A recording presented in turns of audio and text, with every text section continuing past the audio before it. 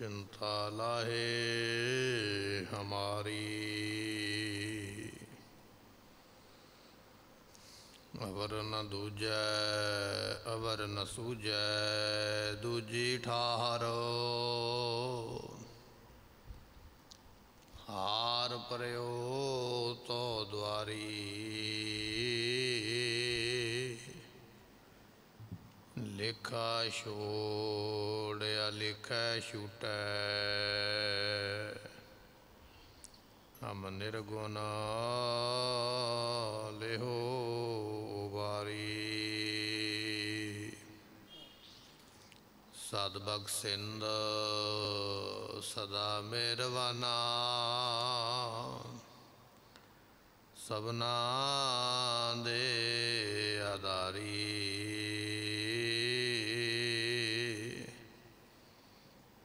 ਨਾਨਕ ਦਾਸ ਸੰਤ ਪਾਛੈ ਪਰਿਓ। ਰਾਖ ਲਿਹੋ ਇਹ ਬਾਰੀ।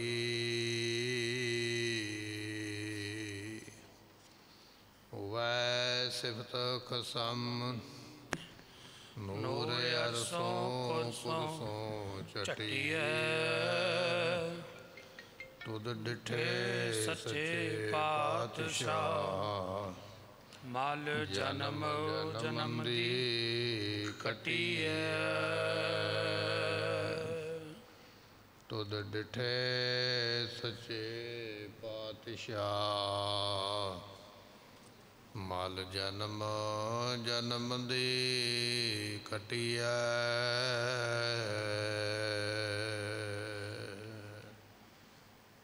ਸਤਨਾਮ। ਸ੍ਰੀ ਵਾਹਿਗੁਰੂ ਸਾਹਿਬ ਜੀ। ਮਾਰੂ ਮਹੱਲਾ ਪੰਜਵਾ। ਕਤ ਕੋ ਡੈਕਾਵੋ ਲੋਗਾ, ਮੋਹਨ ਦੀਨ ਕਿਰਪਾਈ। ਐਸੀ ਜਾਨ ਪਾਈ। ਸ਼ਰਨ ਸੂਰੋ ਗੁਰ ਦਾਤਾ ਰਾਖੈ ਆਪ ਵਡਾਈ। ਵਾਹਿਗੁਰੂ ਜੀ ਕਾ ਖਾਲਸਾ, ਵਾਹਿਗੁਰੂ ਜੀ ਕੀ ਫਤਿਹ। ਕਿਰਪਾ ਨਿਧਾਨ, ਪਤਤ ਪਾਵਨ ਸਤਿਗੁਰੂ। ਗੁਰੂ ਗ੍ਰੰਥ ਸਾਹਿਬ ਜੀਆਂ ਦੀ ਪਵਿੱਤਰ ਪਾਵਨ ਹਜ਼ੂਰੀ ਦਾ ਆਨੰਦ ਪ੍ਰਾਪਤ ਕਰ ਰਹੀ ਗੁਰੂ ਕੀ ਸੰਗਤ। ਸਤਿਗੁਰੂ ਅੰਮ੍ਰਿਤ ਵੇਲੇ ਦੀਆਂ ਦਾਤਾਂ ਬਖਸ਼ਿਸ਼ ਕਰਦਿਆਂ ਹੋਇਆਂ ਨਾਮ ਬਾਣੀ ਦੇ ਨਾਲ ਸਾਨੂੰ ਜੋੜ ਰਹੇ ਨੇ। ਵੱਡੇ ਭਾਗ ਪ੍ਰਾਪਤ ਹੋਏ ਜੋ ਸਤਿਗੁਰਾਂ ਦੇ ਦਰਬਾਰ ਵਿੱਚ ਬੈਠ ਕੇ ਗੁਰਬਾਣੀ ਦੇ ਕੀਰਤਨ ਦੀਆਂ ਦਾਤਾਂ ਪ੍ਰਾਪਤ ਕੀਤੀਆਂ ਹਨ। ਇਸ ਵੇਲੇ ਸਤਿਗੁਰੂ ਲੜੀਵਾਰ ਗੁਰਬਾਣੀ ਦੀ ਕਥਾ ਦੇ ਅੰਦਰ ਉਪਦੇਸ਼ ਬਖਸ਼ਿਸ਼ ਕਰਦੇ। ਆਪਣਾ ਮਨ ਟਿਕਾਈਏ ਭਾਵਨਾ ਦੇ ਨਾਲ ਅੰਮ੍ਰਿਤ ਬਚਨ ਸਰਵਨ ਕਰੀਏ ਮਿਲ ਕੇ ਆਖੀਏ ਸਤਨਾਮ। ਸ੍ਰੀ ਵਾਹਿਗੁਰੂ। ਵਾਹਿਗੁਰੂ ਸਾਹਿਬ ਜੀ। ਮਾਰੂ ਮਹੱਲਾ ਪੰਜਵਾ। ਮਾਰੂ ਰਾਗ ਹੈ ਪੰਚਮ ਗੁਰਦੇਵ ਗੁਰੂ ਅਰਜਨ ਦੇਵ ਪਾਤਸ਼ਾਹ ਜੀ। ਅੱਜ ਦਾ ਜੋ ਉਪਦੇਸ਼ ਹੈ 1005 ਅੰਗ ਦੇ ਉੱਪਰ। ਇਹ ਬਚਨ ਪਾਤਸ਼ਾਹ ਜੀ ਨੇ ਅੰਕਿਤ ਕੀਤੇ ਬਖਸ਼ਿਸ਼ ਕਰਦੇ ਹਨ। ਕਤ ਕੋ ਡਹਿਕਾਵੋ ਲੋਗਾ। ਸਤਿਗੁਰੂ ਪਾਤਸ਼ਾਹ ਕਹਿਣ ਲੱਗੇ ਐ ਸੰਸਾਰ ਦੇ ਲੋਕੋ ਕਿਉਂ ਆਪਣੇ ਮਨ ਨੂੰ ਭਟਕਾਉਂਦੇ ਹੋ? ਇਹ ਮਨ ਕਿਉਂ ਭਟਕਦਾ ਪਿਆ ਹੈ? ਮਨ ਕਿਉਂ ਡਰਦਾ ਪਿਆ ਹੈ? ਤੇ ਪਾਤਸ਼ਾਹ ਬਖਸ਼ਿਸ਼ ਕਰਦੇ ਹਨ। ਮੋਹਨ ਦੀਨ ਕਿਰਪਾਈ। ਉਹ ਜੋ ਮੋਹਨ ਹੈ ਨਾ ਪਰਮਾਤਮਾ ਉਹ ਦੀਨਾ ਗਰੀਬਾਂ ਦੇ ਉੱਪਰ ਬਹੁਤੀ ਕਿਰਪਾ ਕਰਨ ਵਾਲਾ ਹੈ।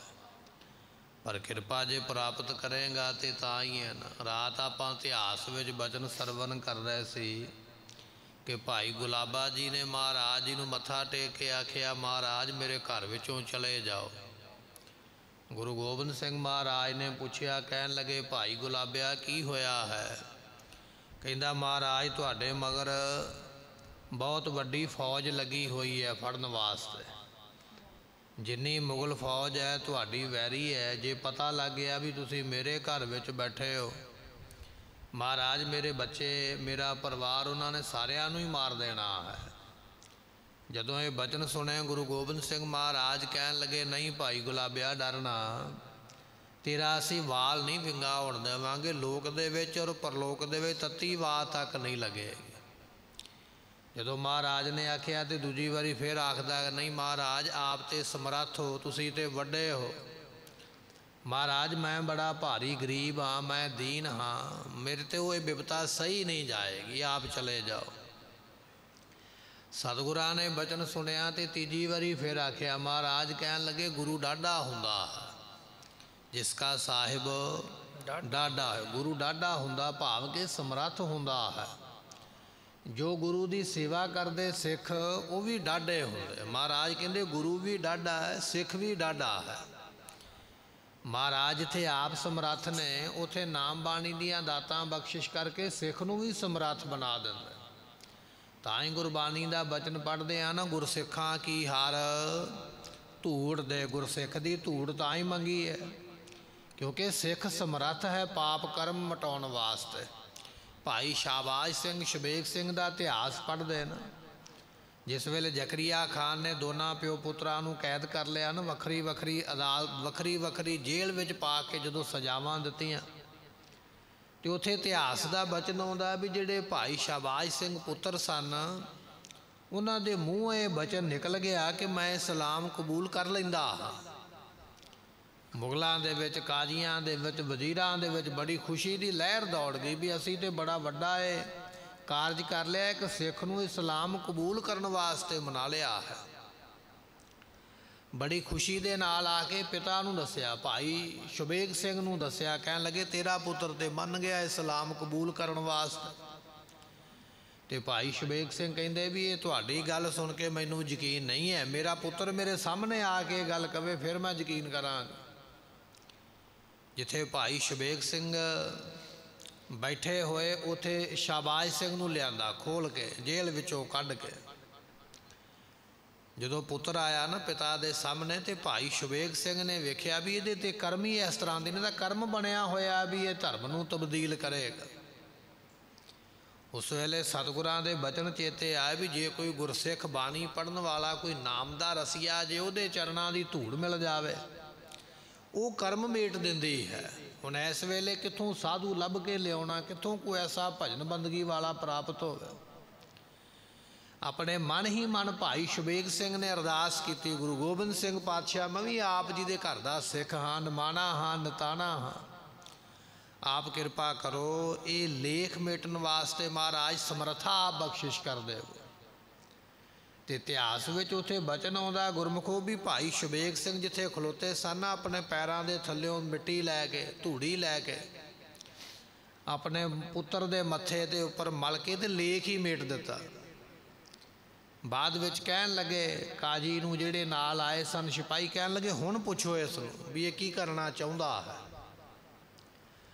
ਜਦੋਂ ਕਾਜੀ ਨੇ ਪੁੱਛਿਆ ਨਾ, ਭਾਈ ਸ਼ਬੇਗ ਸਿੰਘ ਦੇ ਸਾਹਮਣੇ, ਤੇ ਉਸ ਵੇਲੇ ਉਹ ਬੱਚਾ ਕਹਿਣ ਲੱਗਾ ਵੀ ਸਿਰ ਜਾਵੇ ਤਾਂ ਜਾਵੇ, ਪਰ ਮੇਰਾ ਸਿੱਖੀ ਸਿਦਕ ਨਾ ਸਿਦਕ ਨਾ ਜਾਵੇ। ਸਿਰ ਜਾਂਦਾ ਤੇ ਚਲਾ ਜਾਵੇ। ਹੁਣ ਧਰਮ ਨਹੀਂ ਤਬਦੀਲ ਕਰਾਂਗਾ। ਇਹ ਸਮਰਥਾ ਹੈ ਮਹਾਰਾਜ। ਕਹਿਣ ਲੱਗੇ, ਗੁਰੂ ਵੀ ਡਾਢਾ ਹੈ ਤੇ ਗੁਰੂ ਦਾ ਸਿੱਖ ਵੀ ਡਾਢਾ ਹੈ। ਗੁਰੂ ਵੀ ਸਮਰੱਥ ਹੈ ਤੇ ਗੁਰੂ ਦਾ ਸਿੱਖ ਵੀ ਸਮਰੱਥ ਹੈ। ਤਾਂ ਹੀ ਮਹਾਰਾਜ ਜੀ ਦਾ ਬਚਨ ਹੈ, ਗੁਰਸਿੱਖਾਂ ਕੀ ਹਰ ਧੂੜ ਦੇ ਹਮ ਪਾਪੀ ਭੀ ਗਤ ਪਾਏ ਮਹਾਰਾਜ ਕਹਿਣ ਲੱਗੇ ਭਾਈ ਗੁਲਾਬਿਆ ਗੁਰੂ ਡਾਡਾ ਤੂੰ ਵੀ ਡਾਡਾ ਘਬਰਾ ਨਾ। ਦੂਜੀ ਵਾਰੀ ਤੀਜੀ ਵਾਰੀ ਫਿਰ ਬਚਨ ਮੋੜਿਆ। ਨਹੀਂ ਮਹਾਰਾਜ ਮੈਂ ਤੇ ਮਾੜਾ ਹਾਂ ਮੈਂ ਤੇ ਕਮਜ਼ੋਰ ਹਾਂ। ਮੈਂ ਇਸੇ ਸਮੇਂ ਦੇ ਹਾਲਾਤ ਦਾ ਮੁਕਾਬਲਾ ਨਹੀਂ ਕਰ ਸਕਦਾ। ਫਿਰ ਗੁਰੂ ਗੋਬਿੰਦ ਸਿੰਘ ਪਾਤਸ਼ਾਹ ਦੇ ਮੁਖੋਂ ਬਚਨ ਨਿਕਲ ਗਿਆ। ਕਹਿਣ ਲੱਗੇ ਅਸੀਂ ਤੇ ਤੈਨੂੰ ਤਕੜਾ ਬਣਾਉਣਾ ਚਾਹੁੰਦੇ। ਤੇਰੇ ਉੱਪਰ ਬਖਸ਼ਿਸ਼ਾਂ ਕਰਨੀਆਂ ਚਾਹੁੰਦੇ, ਪਰ ਤਿੰਨੇ ਵਾਰੀ ਤੂੰ ਬਚਨ ਮੋੜਿਆ, ਤੂੰ ਆਖਿਆ, ਮੈਂ ਮਾੜਾ ਹਾਂ। ਜੇ ਤੂੰ ਮਾੜਾ ਕਹਿੰਦਾ ਤਾਂ ਚੱਲ ਫਿਰ ਮਾੜਾ ਹੀ ਰਹੋ। ਅਸੀਂ ਤੇ ਤਗੜਾ ਕਰਨ ਲੱਗੇ, ਪਰ ਤੂੰ ਤਗੜਾ ਹੋਣਾ ਹੀ ਨਹੀਂ ਚਾਹੁੰਦਾ। ਇਸ ਤਰ੍ਹਾਂ ਦਾ ਬਚਨ ਭਾਈ ਗੁਲਾਬੇ ਨੂੰ, ਭਾਈ ਪੰਜਾਬੇ ਨੂੰ, ਜਿਹੜੇ ਮਾਛੀਵਾੜੇ ਦੇ ਜੰਗਲ ਵਿੱਚ ਜਦੋਂ ਮਹਾਰਾਜ ਖੂਹ ਦੇ ਉੱਪਰ ਟਿੰਡ ਦਾ ਸਰਾਣਾ ਲਾ ਕੇ ਸੁੱਤੇ, ਉਦੋਂ ਆਪਣੇ ਘਰ ਵਿੱਚ ਇਹ ਦੋ ਸਿੱਖ ਲੈ ਕੇ ਗਏ। ਘਰ ਵਿੱਚ ਤੇ ਲੈ ਗਏ, ਪਰ ਸੇਵਾ ਕਰਕੇ ਉਹ ਸੇਵਾ ਨੂੰ ਸਾਂਭ ਨਹੀਂ ਸਕੇ। ਬਚਨ ਮੋੜ ਬੈਠੇ ਮਹਾਰਾਜ ਜੀ ਦਾ। ਸਤਿਗੁਰੂ ਬਚਨ ਕਰਦੇ ਕਹਿਣ ਲੱਗੇ, ਕਤ ਕੋ ਡਹਕਾਵੋ ਲੋਗਾ? ਜਿਵੇਂ ਭਾਈ ਗੁਲਾਬੇ ਦਾ ਮਨ ਭੜਕਦਾ ਸੀ ਨਾ, ਡੋਲਦਾ ਸੀ ਮਹਾਰਾਜ, ਕਹਿੰਦੇ, ਭਾਈ ਗੁਲਾਬਿਆ, ਕਿਉਂ ਮਨ ਡਲਾਉਂਦਾ ਫਿਕਰ ਨਾ ਕਰ।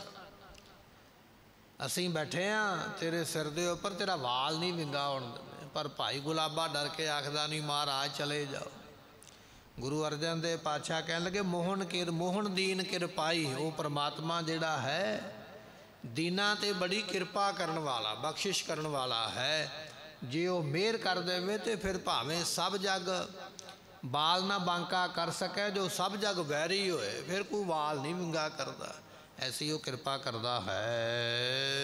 ਐਸੀ ਜਾਨ ਪਾਈ। ਇਸ ਤਰ੍ਹਾਂ ਦੀ ਜਾਣ ਕਹੀਏ ਖਬਰ ਮਿਲੀ ਹੈ। ਇਹ ਖਬਰ ਕਿੱਥੋਂ ਮਿਲੀ ਹੈ? ਸੰਗਤ ਵਿੱਚੋਂ ਆ ਕੇ। ਜਦੋਂ ਸੰਗਤ ਵਿੱਚ ਆ ਕੇ ਆਪਾਂ ਬਚਨ ਸੁਣਦੇ ਆ ਨਾ ਕਥਾ ਸੁਣਦੇ ਕੀਰਤਨ ਸੁਣਦੇ ਗੁਰਬਾਣੀ ਸੁਣਦੇ ਇਤਿਹਾਸ ਸੁਣਦੇ ਤੇ ਫਿਰ ਐਸੀ ਖਬਰ ਮਿਲਦੀ ਹੈ ਵੀ ਉਹ ਪ੍ਰਮਾਤਮਾ ਬੜੀ ਮਿਹਰ ਕਰਦਾ ਹੈ। ਸ਼ਰਨ ਸੂਰੋ ਗੁਰ ਦਾਤਾ। ਮਹਾਰਾਜ ਕਹਿਣ ਲੱਗੇ ਸ਼ਰਨ ਆਇਆਂ ਦੀ ਰੱਖਿਆ ਕਰਨ ਵਾਸਤੇ ਗੁਰੂ ਵੱਡਾ ਸੂਰਮਾ ਹੈ। ਜੋ ਸ਼ਰਨ ਆਵੇ ਤਿਸ ਕੰਠ ਲਾਵੇ। ਜਿਹੜਾ ਸ਼ਰਨ ਵਿੱਚ ਆ ਗਿਆ ਉਹਨੂੰ ਗਲੇ ਲਾ ਲੈਂਦੇ ਮਹਾਰਾਜ। ਜਿਵੇਂ ਇਤਿਹਾਸ ਵਿੱਚ ਆਪਾਂ ਭਜਨ ਸਰਵਨ ਕਰਦੇ, ਭਾਈ ਨੰਦ ਲਾਲ ਆ ਗਏ ਨਾ ਔਰੰਗਜ਼ੇਬ ਦੀ ਸੋਨੇ ਦੀ ਕੁਰਸੀ ਛੱਡ ਕੇ, ਬੜਾ ਵੱਡਾ ਅਹੁਦਾ ਛੱਡ ਕੇ, ਆਪਣੀ ਵਜ਼ੀਰੀ ਛੱਡ ਕੇ ਆ ਗਿਆ ਗੁਰੂ ਗੋਬਿੰਦ ਸਿੰਘ ਮਹਾਰਾਜ ਦੇ ਚਰਨਾਂ ਵਿੱਚ। ਪਾਤਸ਼ਾਹ ਜੀ ਔਰੰਗਜ਼ੇਬ ਮੇਰਾ ਧਰਮ ਬਦਲਣਾ ਚਾਹੁੰਦਾ ਹੈ। ਮਹਾਰਾਜ ਕਹਿੰਦੇ, ਸਾਡੇ ਕੋਲ ਰਹਿ ਅਨੰਦਪੁਰ ਸਾਹਿਬ ਦੀ ਧਰਤੀ ਤੇ ਔਰੰਗਜ਼ੇਬ ਤੇਰੇ ਵੱਲ ਵੇਖ ਤੱਕ ਨਹੀਂ ਸਕੇਗਾ। ਐਸੇ ਸਤਿਗੁਰੂ ਸੂਰਮੇ ਨੇ, ਜਿਹੜਾ ਸ਼ਰਨ ਵਿੱਚ ਆਉਂਦਾ, ਉਹਦੀ ਰੱਖਿਆ ਕਰਦਾ ਕੱਲੇ ਸੂਰਮੇ ਹੀ ਨਹੀਂ, ਸਤਿਗੁਰੂ ਦਾਤੇ ਵੀ ਨੇ, ਜਿਹੜੀ ਦਾਤ ਮੰਗੀਏ, ਉਹ ਦੇ ਦਿੰਦੇ ਸਭਨਾ ਜੀਆਂ ਕਾ, ਜੇਵੜ ਆਪ ਤੇਵੜ, ਤੇਰੀ ਦਾਤ ਉਹ ਵੱਡੇ ਦਾਤੇ, ਵੱਡਾ ਦਾਤਾ, ਤਿਲ ਨਾ ਤਮਾਏ, ਐਸੇ ਸਤਿਗੁਰੂ ਜੀ ਜਿਹੜੇ ਆਪ ਵੱਡੇ ਸਮਰੱਥ ਨੇ ਉਹਨੀਆਂ ਵੱਡੀਆਂ ਦਾਤਾਂ ਦਿੰਦੇ ਹਨ। ਰਾਖੈ ਆਪ ਵਡਾਈ। ਆਪਣਿਆਂ ਸ਼ਰਨ ਆਏ ਗੁਰਮੁਖਾਂ ਦੀ ਵਡਿਆਈ ਵੀ ਆਪ ਬਣਾ ਕੇ ਰੱਖਦਾ। ਹਰ ਜੁਗ ਜੁਗ ਭਗਤਿਓ ਪਾਇਆ ਪੈਜ ਰੱਖਦਾ ਆਇਆ। ਪੈਜ ਨਾਮ ਇੱਜ਼ਤ ਦਾ ਵਡਿਆਈ ਵੀ ਰੱਖਦਾ ਆਪਣੇ ਭਗਤ ਦੀ ਬਣਾ ਕੇ। ਵਡਿਆਈ ਨੂੰ ਉਸ ਵੇਲੇ ਗਵਾਚਣ ਨਹੀਂ ਦਿੰਦਾ ਹੈ। ਜਿਹੜੇ ਸ਼ਰਨ ਵਿੱਚ ਆ ਜਾਂਦੇ ਗੁਰਮੁਖ ਉਹਨਾਂ ਦੀ ਇੱਜ਼ਤ ਆਬਰੂ ਰੱਖਦਾ। ਬਚਾ ਕੇ ਸਿੱਖਾਂ ਦਾ ਮਨ ਨੀਵਾ ਮਾਤੀ ਉੱਚੀ। ਮਤ ਪਾਤ ਦਾ ਰਾਖਾ ਆਪ ਅਕਾਲ ਪੁਰਖ। ਮਹਾਰਾਜ ਸਾਹਿਬ ਜੀ ਫਿਰ ਪਤ ਦੇ ਰਾਖੇ ਵੀ ਇੱਜ਼ਤ ਦੇ ਰਾਖੇ ਇੱਜ਼ਤ ਵੀ ਬਣਾ ਕੇ ਰੱਖਦੇ ਹਨ। ਰਹਾਉ ਭਗਤਾਂ ਕਾ ਆਗਿਆਕਾਰੀ। ਮਹਾਰਾਜ ਕਹਿਣ ਲੱਗੇ ਉਹ ਪ੍ਰਮਾਤਮਾ ਭਗਤਾਂ ਦਾ ਆਗਿਆਕਾਰੀ ਹੈ। ਸਭ ਕੋ ਤੇਰੇ ਵਸ ਅਗਮ ਅਗੋਚਰਾ। ਗੁਰਬਾਣੀ ਦਾ ਬਚਨ ਹੈ ਜਿੰਨੀ ਸ੍ਰਿਸ਼ਟੀ ਬਣਾਈ ਹੈ ਸਾਰੀ ਪ੍ਰਮਾਤਮਾ ਦੀ ਆਗਿਆ ਵਿੱਚ ਹੈ। ਕੋਈ ਇਹੋ ਜਿਹਾ ਨਹੀਂ। ਜਿਹੜਾ ਉਹਦੀ ਆਗਿਆ ਤੋਂ ਬਾਹਰ ਹੋਵੇ, ਸਭ ਕੋ ਤੇਰਾ ਵਸ, ਸਾਰੀ ਸ੍ਰਿਸ਼ਟੀ ਤੇਰੇ ਹੁਕਮ ਦੇ ਵਿੱਚ ਹੈ। ਪਰ ਸਾਰਿਆਂ ਨੂੰ ਹੁਕਮ ਦੇਣ ਵਾਲਾ ਜੋ ਪ੍ਰਮਾਤਮਾ ਹੈ, ਤੂੰ ਭਗਤਾਂ ਕਹਿ ਬਸ ਉਹ ਆਪ ਭਗਤਾਂ ਦੇ ਹੁਕਮ ਦੇ ਵਿੱਚ ਹੈ। ਐਸੀ ਵਡਿਆਈ ਹੈ ਭਗਤਾਂ ਦੀ, ਨਾਮ ਜਪਣ ਵਾਲਿਆਂ ਦੀ।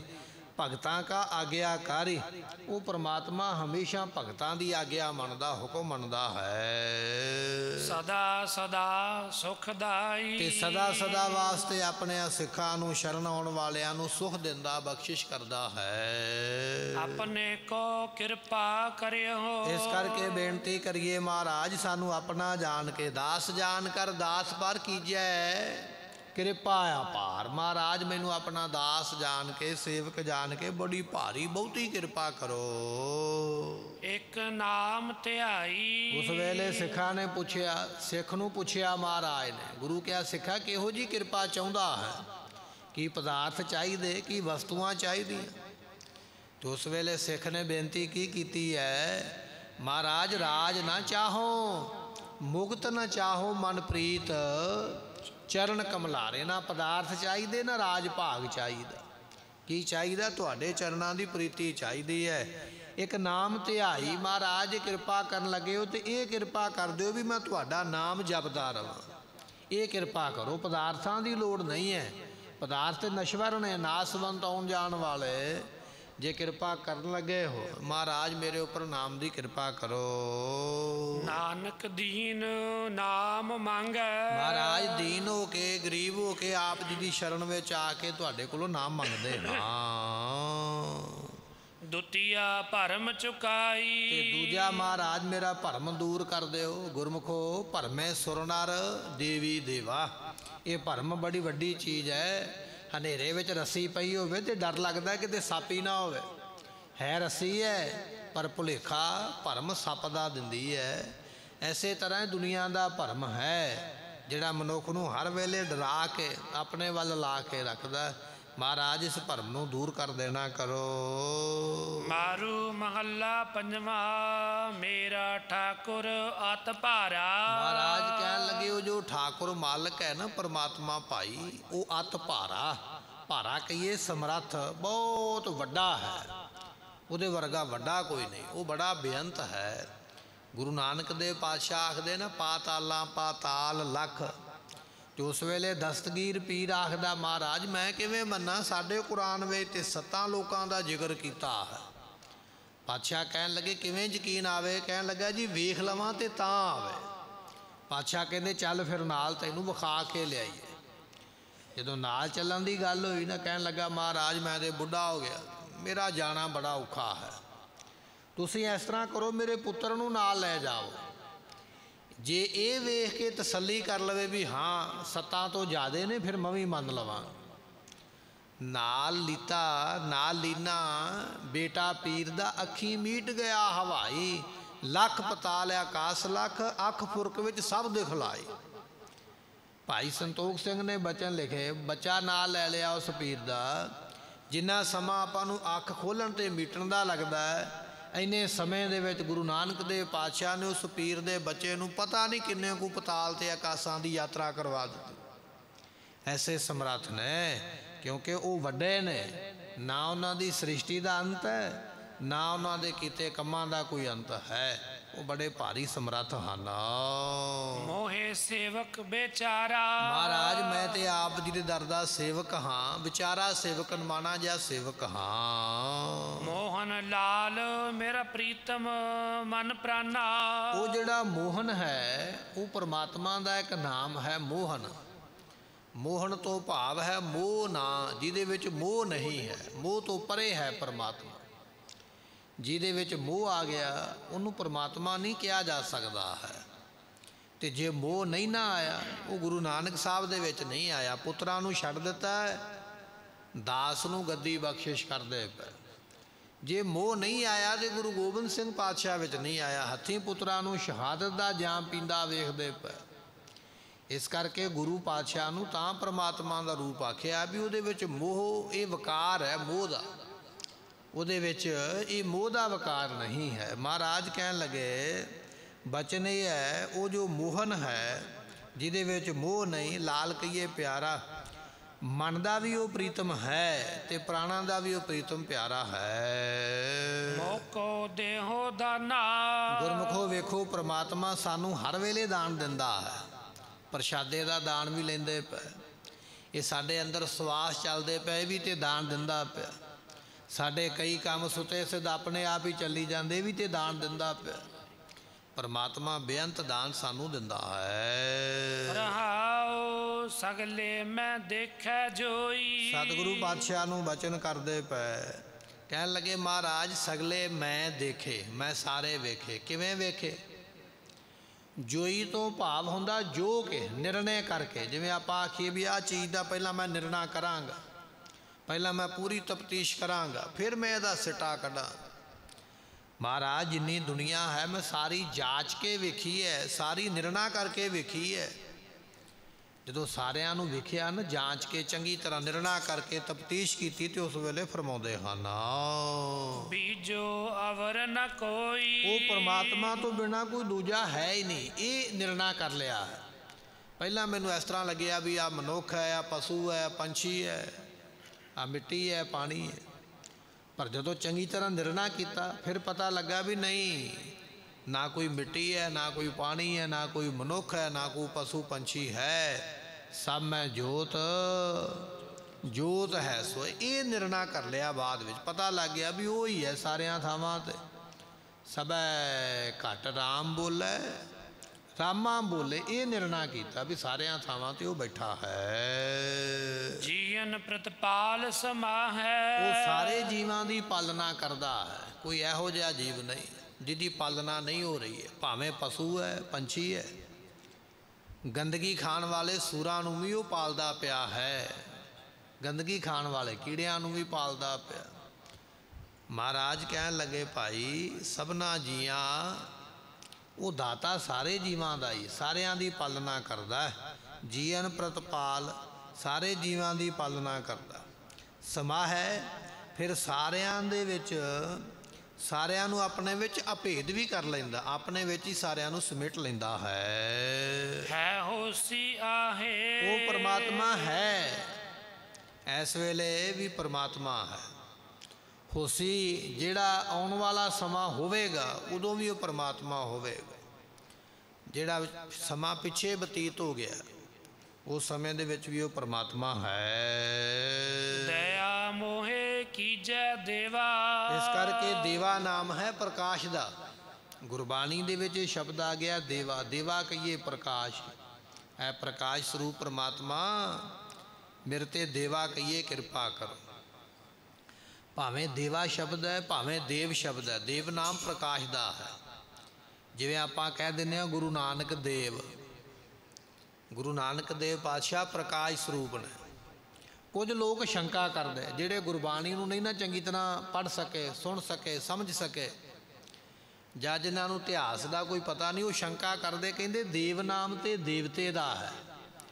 ਤੁਸੀਂ ਗੁਰੂ ਨਾਨਕ ਸਾਹਿਬ ਨੂੰ ਦੇਵਤਾ ਕਹਿੰਦੇ ਹੋ, ਦੇਵ ਨਹੀਂ ਕਹਿਣਾ ਚਾਹੀਦਾ। ਕੱਲਾ ਗੁਰੂ ਨਾਨਕ ਹੀ ਆਖਿਆ ਕਰੋ। ਪਰ ਇਹ ਸ਼ੰਕਾ ਜਿਹੜਾ ਇਹ ਤਾਂ ਪੈਦਾ ਹੋਇਆ ਕਿਉਂਕਿ ਗਿਆਨ ਨਹੀਂ ਹੈ। ਕਿਉਂਕਿ ਦੇਵ ਸ਼ਬਦ ਤੇ ਗੁਰੂ ਅੰਗਦ ਸਾਹਿਬ ਦੇ ਪਿੱਛੇ ਵੀ ਲੱਗਾ, ਗੁਰੂ ਅੰਗਦ ਦੇਵ। ਤੇ ਦੇਵ ਸ਼ਬਦ ਜਿਹੜਾ ਉਹ ਗੁਰੂ ਅਰਜਨ ਦੇਵ ਪਾਤਸ਼ਾਹ ਦੇ ਨਾਲ ਵੀ ਲੱਗਾ, ਗੁਰੂ ਅਰਜਨ ਦੇਵ। ਤੇ ਗੁਰੂ ਗ੍ਰੰਥ ਸਾਹਿਬ ਨੇ ਬਚਨ ਲਿਖਿਆ, ਜਪਿਓ ਜਿਨ ਅਰਜਨ, ਦੇਵ ਗੁਰੂ। ਉਥੇ ਵੀ ਦੇਵ ਸ਼ਬਦ ਮਹਾਰਾਜ ਨੇ ਆਪ ਲਿਖਿਆ। ਹੁਣ ਗੁਰਬਾਣੀ ਤੋਂ ਕਿਵੇਂ ਭੱਜੋਗੇ? ਬੰਦੇ ਦੀ ਗੱਲ ਤੋਂ ਭੱਜਿਆ ਜਾ ਸਕਦਾ, ਕੋਈ ਵਾਲਵਲਿੰਗ ਕੱਢਿਆ ਜਾ ਸਕਦਾ ਵੀ ਨਹੀਂ, ਮੈਂ ਇਹ ਗੱਲ ਮੰਨਦਾ ਨਹੀਂ। ਪਰ ਗੁਰਬਾਣੀ ਤੋਂ ਨਹੀਂ ਭੱਜਿਆ ਜਾ ਜਾ ਸਕਦਾ, ਜਪਿਓ ਜਿਨ ਅਰਜਨ, ਦੇਵ ਗੁਰੂ, ਫਿਰ ਸੰਕਟ ਜੋਨ, ਗਰਭ ਨਾ ਆਇਓ। ਉਥੇ ਲਿਖਿਆ ਹੈ, ਗੁਰੂ ਗ੍ਰੰਥ ਸਾਹਿਬ ਦੀ ਇਹ ਪੰਕਤੀ ਹੈ, ਜਿਨ੍ਹਾਂ ਨੇ ਗੁਰੂ ਅਰਜਨ ਦੇ ਪਾਤਸ਼ਾਹ ਨੂੰ ਜਪਿਆ ਹੈ, ਉਹ ਗਰਭ ਦੀਆਂ ਜੂਨਾਂ ਵਿੱਚ ਨਹੀਂ ਆਉਂਦੇ। ਤੇ ਜੇ ਗੁਰੂ ਗ੍ਰੰਥ ਸਾਹਿਬ ਨੇ ਲਿਖਿਆ, ਫਿਰ ਵਜਨ ਤੇ ਮੰਨਣਾ ਪਵੇਗਾ ਸ਼ੰਕਾਕਾਰੀਆਂ ਨੇ ਸ਼ੰਕਾ ਧਾਰਕਾਂ ਨੇ, ਸ਼ੰਕਾ ਦੇਣ ਵਾਲਿਆਂ ਨੇ ਕਰੀ ਜਾਣਾ ਹੈ। ਵੀ ਦੇਵ ਸ਼ਬਦ ਕਿਉਂ ਲਾਉਂਦੇ? ਪਰ ਦੇਵ ਸ਼ਬਦ ਤੇ ਆਪ ਗੁਰੂ ਗ੍ਰੰਥ ਸਾਹਿਬ ਪਾਤਸ਼ਾਹ ਨੇ ਬਖਸ਼ਿਆ। ਮਹਾਰਾਜ ਦੀ ਬਾਣੀ ਦੇ ਵਿੱਚ ਗੁਰੂ ਪਾਤਸ਼ਾਹ ਦੇ ਨਾਮ ਦੇ ਨਾਲ। ਸੋ ਇਹ ਸ਼ੰਕੇ ਜਿਹੜੇ ਨਿਰਮੂਲ ਨੇ, ਭਰਮ ਪਾਉਣ ਵਾਲੇ। ਮਹਾਰਾਜ ਕਹਿਣ ਲੱਗੇ, ਦਇਆ ਮੋਹਿ ਕੀਜੈ ਦੇਵਾ। ਦੇਵਾ ਨਾਮ ਪ੍ਰਕਾਸ਼ ਦਾ, ਦੇਵ ਨਾਮ ਪ੍ਰਕਾਸ਼ ਦਾ ਹੈ। ਦੇਵ ਨਾਮ ਕਿਸੇ ਦੇਵਤੇ ਦਾ ਨਹੀਂ ਹੈ। ਦੇਵ ਤੋਂ ਭਾਵ ਹੁੰਦਾ ਪ੍ਰਕਾਸ਼। ਇਹ ਪ੍ਰਕਾਸ਼ ਸਰੂਪ ਪਰਮਾਤਮਾ ਮੇਰੇ ਤੇ ਕਿਰਪਾ ਕਰੋ। ਨਾਨਕ ਲਾਗੋ ਸੇਵਾ। ਮੈਂ ਆਪ ਜੀ ਦੀ ਸੇਵਾ ਵਿੱਚ ਹਰ ਵੇਲੇ ਲੱਗਾ ਰਵਾਂ ਤਤਪਰ ਹੋਇਆ ਰਵਾਂ। ਹਰ ਵੇਲੇ ਸੇਵਾ ਕਰਾਂ ਐਸੀ ਕਿਰਪਾ ਕਰੋ। ਮਾਰੂ ਮਹੱਲਾ ਪੰਜਵਾ। ਪਤ ਤੇ ਉਦਾਹਰਣ ਤਾਰਨ, ਬਲ ਬਲੇ ਬਲ ਜਾਈਐ। ਸਤਿਗੁਰੂ ਪਾਤਸ਼ਾਹ ਬਖਸ਼ ਬਚਨ ਬਖਸ਼ਿਸ਼ ਕਰਦੇ, ਕਹਿਣ ਲੱਗੇ, ਉਹ ਪ੍ਰਮਾਤਮਾ ਪਤਤ ਉਦਾਹਰਣ ਹੈ। ਪਤਤ ਹੁੰਦਾ ਗੁਰਮੁਖੋ ਡਿਗਿਆ ਹੋਇਆ, ਗਿਰਿਆ ਹੋਇਆ, ਜਿਹਦਾ ਜੀਵਨ ਬਿਲਕੁਲ ਹੀ ਖਰਾਬ ਹੋਵੇ, ਜਿਹੜਾ ਪਾਪੀ ਹੋਵੇ। ਉਹ ਪਾਪੀਆਂ ਦਾ ਵੀ ਉਧਾਰ ਕਰ, ਡਿੱਗਿਆਂ ਨੂੰ ਵੀ ਚੁੱਕ ਲੈਂਦਾ ਹੈ। ਭਲੇ ਨੂੰ ਤੇ ਸਾਰਾ ਹੀ ਭਲ ਸਾਰੇ ਹੀ ਭਲਾ ਕਹਿੰਦੇ, ਪਰ ਬੁਰੇ ਨੂੰ ਭਲਾ ਕੋਈ ਨਹੀਂ ਕਹਿੰਦਾ ਹੈ। ਬੁਰੇ ਨੂੰ ਭਲਾ ਗੁਰੂ ਨਾਨਕ ਪਾਤਸ਼ਾਹ ਮਹਾਰਾਜ ਬਣਾ ਦਿੰਦੇ। ਪਾਤਸ਼ਾਹ ਕਹਿੰਦੇ, ਪਤਤ ਉਦਾਹਰਣ, ਪਾਪੀਆਂ ਦੇ ਉਧਾਰ ਕਰਨ ਵਾਲਾ। ਤਾਰਨ ਕਹੀਏ, ਜਹਾਜ਼, ਉਹ ਪ੍ਰਮਾਤਮਾ ਜਹਾਜ਼ ਹੈ, ਜਿਵੇਂ ਜਹਾਜ਼ ਤੇ ਜਿੰਨੀਆਂ ਸਵਾਰੀਆਂ ਚੜ ਜਾਣ, ਪਾਰ ਹੋ ਜਾਂਦੀਆਂ। ਪਰਮਾਤਮਾ ਦਾ ਨਾਮ ਜਹਾਜ਼ ਹੈ, ਵਾਹਿਗੁਰੂ ਨਾਮ ਜਹਾਜ਼ ਹੈ। ਜਿਹੜਾ ਇਸ ਨਾਮ ਨੂੰ ਜਪਦਾ, ਉਹ ਇਸ ਨਾਮ ਰੂਪੀ ਜਹਾਜ਼ ਤੇ ਚੜ ਕੇ ਤੇ ਕਹੀਏ ਫਿਰ ਤਰ ਜਾਂਦਾ ਹੈ।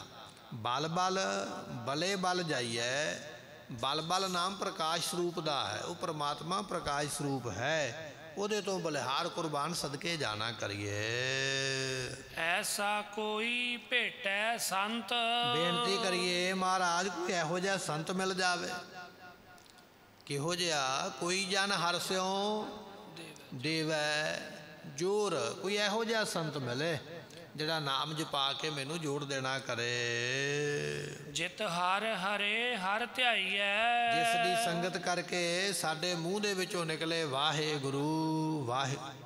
ਹੁਣ ਗੁਰਮੁਖੋ ਕਾਮੀ ਦੀ ਸੰਗਤ ਵਿੱਚ ਜਾਵਾਂਗੇ ਉੱਥੇ ਕਾਮ ਦੀਆਂ ਗੱਲਾਂ ਮੂੰਹੋਂ ਵੀ ਨਿਕਲਣਗੀਆਂ ਕੰਨਾਂ ਵਿੱਚ ਵੀ ਪੈਣਗੀਆਂ। ਲੋਭੀ ਦੇ ਕੋਲ ਜਾਵਾਂਗੇ ਉੱਥੇ ਲੋਭ ਦੀਆਂ ਗੱਲਾਂ ਸੁਣਨ ਵਾਸਤੇ ਤੇ ਕਰਨ ਵਾਸਤੇ ਮਿਲਣਗੀਆਂ।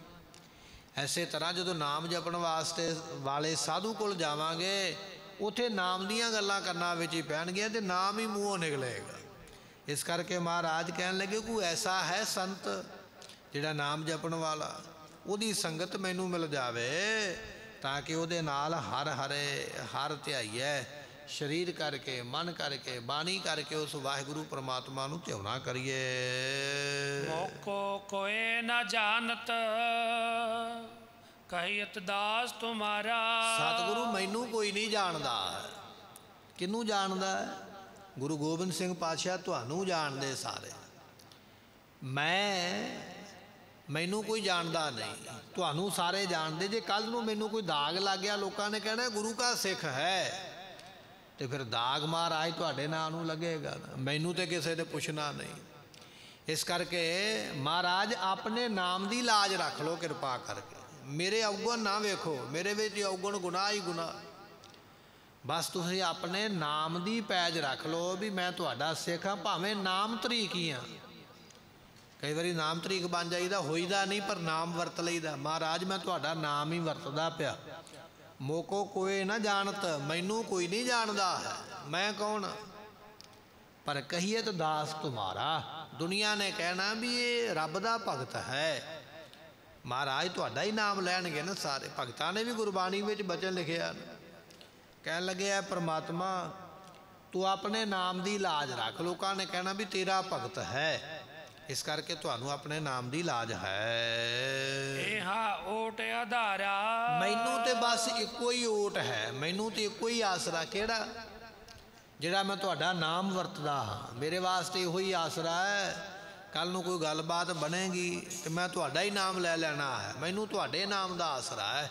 ਤੁਹਾਡੇ ਨਾਮ ਬਿਨਾ ਮੇਰੀ ਹੋਰ ਕੋਈ ਪੁੱਛਗਿੱਛ ਨਹੀਂ ਹੈ। ਰਹਾਉ ਸਰਬ ਧਾਰਨ ਪ੍ਰਤਪਾਰਨ ਇੱਕ ਬਿਨੋ ਦੀਨਾ ਸਤਿਗੁਰੂ ਪਾਤਸ਼ਾਹ ਜੀ ਆਪ ਸਰਬ ਧਾਰਨ।